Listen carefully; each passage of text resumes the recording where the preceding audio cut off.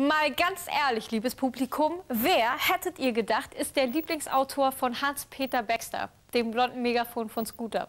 Also ich hätte jetzt ganz ehrlich gedacht, der Brüsel vom Werner, Walt Disney oder vielleicht der Jamie Oliver oder vielleicht auch aus Imagegründen sowas wie Goethe oder Thomas Mann.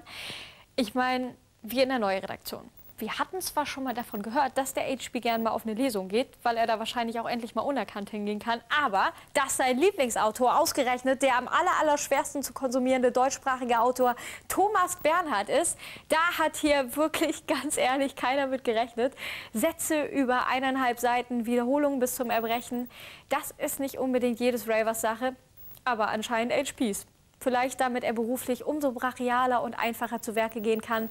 Wir werden das bei Gelegenheit mal mit ihm ausdiskutieren. Und hier sind Scooter mit Single Nummer 29 und zwar One.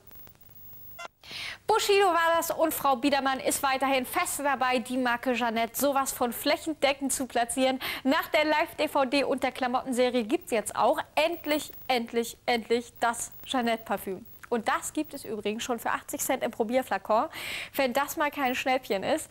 Und worauf wir natürlich alle auch sehnlichst gewartet haben, Jeannette hat es geahnt und unseren geheimsten Wunsch schon mal vorab erfüllt. Ein ganzes Album mit Weihnachtsklassikern von Silent Night bis Amazing Grace. Natürlich gibt es noch ein paar moderne Schmachtfetzen mit dazu, mit allen Weihnachtsklischees, die man sich so denken kann strahlende Kinderaugen, ein riesen Weihnachtsbaum, Jeannette im sexy Weihnachtsfraukleidchen und Jeannette, wie sie sich auf einem Eisbärenfell regelt. Ja, das ist schön und romantisch zugleich. Da wollen wir euch nicht länger darauf warten lassen. Hier kommt für euch Infant Light.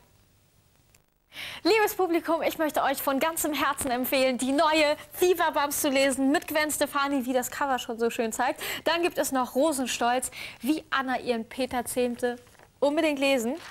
Ja, so viel zu Viva Bams. Und weil ja so langsam die Zeit der alljährlichen, beschaulich besinnlichen Jahresrückblicke etwas näher rückt, wollen auch wir von neu an dieser Stelle etwas über das vergangene Jahr resümieren. Und deshalb halten wir fest, wenn es dieses Jahr in Deutschland irgendwas Neues gegeben hat, dann waren es ja wohl einmal eindeutig die neuen alternativ angehauchten Wir sind Helden Gedächtnisbands Juli und Silbermond. Und dann gab es da noch den Berliner Hip-Hop oder wie Sido es sagt, Rap von der Straße. Denn das, was es vorher gab, das wäre doch laut Sido eh alles nur Abiturienten-Hip-Hop gewesen. Und nur das, was er macht, ist echter kleinkriminellen Rap. Und deswegen sehen seine Clips auch den US-amerikanischen Vorbildern ziemlich ähnlich. Außer, dass das Budget bei ihm eher nur für drei bis vier Mädels gereicht hat, anstatt für drei bis vier Dutzend. Das wird aber noch. Hier sind Sido und seine Kollegen Flair und Beatheit vom Akro Berlin Label mit Akro Teil 4 Neue Deutsche Welle. Und ich bin raus. Tschüss.